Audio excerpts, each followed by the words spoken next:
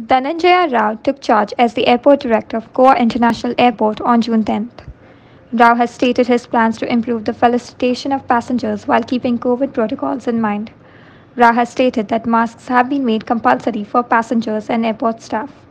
Our plans are to facilitate the passengers in a better way to improve the facilitation and uh, all the taking all the um, COVID uh, protocols you know, in uh, recently which are in force. Yes, as per the guidelines from the DGCA, uh, mask is compulsory now for all the passengers and uh, persons who are working in the terminal building.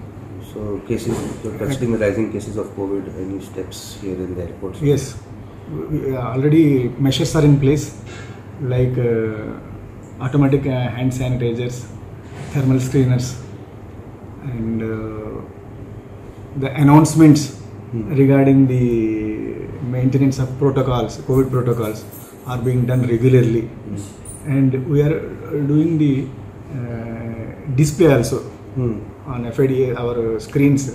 Hmm. All these uh, guidelines are being uh, displayed for the information of the passengers and others. Kiran Borkar for Herald TV.